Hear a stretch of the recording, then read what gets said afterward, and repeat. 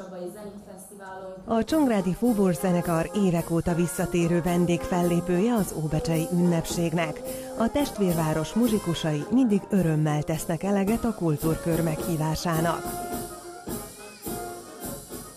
nem vagyunk ahhoz hozzászokva, hogy 3-4-5 ezer mikor hányan ö, hallgatnak bennünket, mert hát ez egy fantasztikus élmény, amikor ennyi, ennyi ember hallgat bennünket. Az alsóvárosi Páduai Szent Antal templomban megtartott kenyérszenteléssel egybekötött ünnepi szentmise után a Petőfi Sándor Magyar Kultúrkör előtt tartották meg a műsort.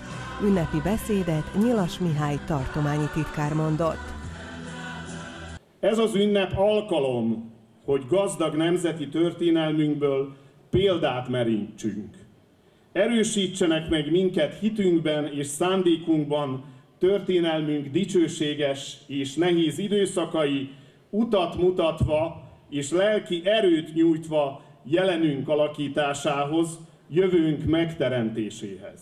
Az ünnepi műsor és a koncertek előtt Kinka Erzsébet, az Óbecsei képviselőtestület elnök helyettese megszegte a felszentelt kenyeret. Szent István ünnepe szorosan összekapcsolódik az új kenyér ünnepével. Ezért ez a nap a mindennapi kenyér, a kenyeret teremtő ember és a termőföld ünnepe is. A magyar ember mindenkor életnek nevezte a búzát, a legfontosabb kenyérnövényünket. A tegnapi programok tűzijátékkal és táncházzal zároltak, a maiak pedig utcavállal érnek véget.